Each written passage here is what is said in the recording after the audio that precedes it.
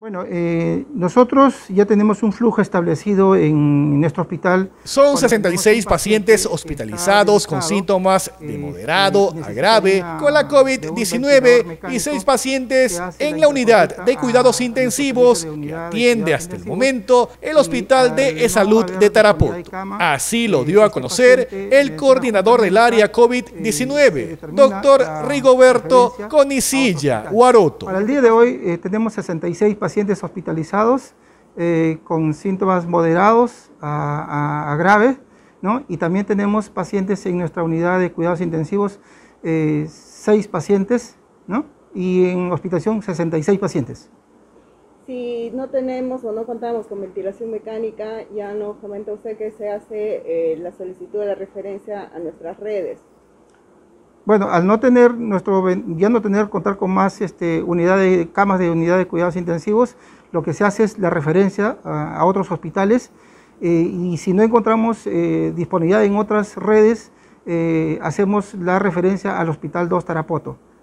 Asimismo, el doctor Conicilla Guaroto comentó que están desarrollando diversas actividades para abastecer de oxígeno al hospital. Agregó que en el nosocomio cuentan con balones recargados para la atención de los asegurados. Sin embargo, los casos van en aumento. Cada día reciben más pacientes jóvenes. Sí, eh, bueno, el, grupo que trabajamos acá, quienes formamos parte de la gestión, eh, hacemos todo lo posible por eh, traer oxígeno de otras, de otras regiones, incluso de nuestra propia región, con el objetivo de que nuestra planta se abastezca de más oxígeno para que no les falte a nuestros pacientes.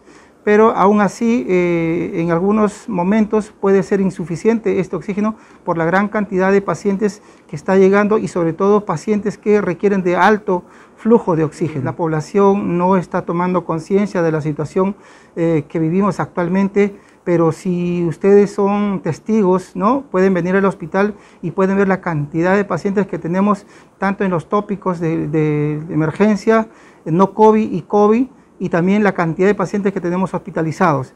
Entonces creo de que tiene que haber una conciencia de la población y que tome todas las medidas de prevención para no seguir contagiándonos de este virus, ya que eh, se está observando la agresividad en esta ola es mucho más severa, ya que se está observando pacientes jóvenes, eh, menores de 30 años, eh, falleciendo o también, también tenemos en pacientes en cuidados intensivos.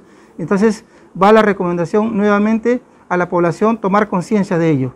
El coordinador del área COVID-19 del Hospital de Salud de Tarapoto habló del traslado a la capital de la República del médico intensivista del Hospital Minsa, Mauro Rodríguez Bozo, a quien le diagnosticaron neumonía con compromiso pulmonar por COVID-19, además dengue con signos de alarma por lo que fue necesario su referencia a un hospital de mayor resolución en Lima.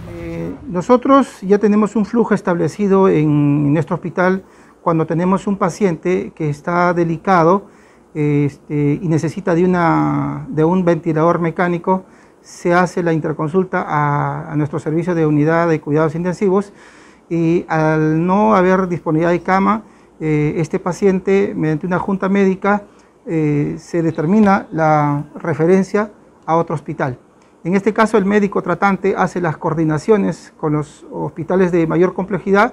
Eh, si es que es aceptado, inmediatamente se comunica al jefe de referencias y contrarreferencias para que haga las gestiones en cuanto a lo que es el medio de transporte. Finalmente recordó a la población la importancia de continuar con las medidas de prevención para no seguir contagiándonos pues en esta ola se ha podido observar que el virus es más agresivo.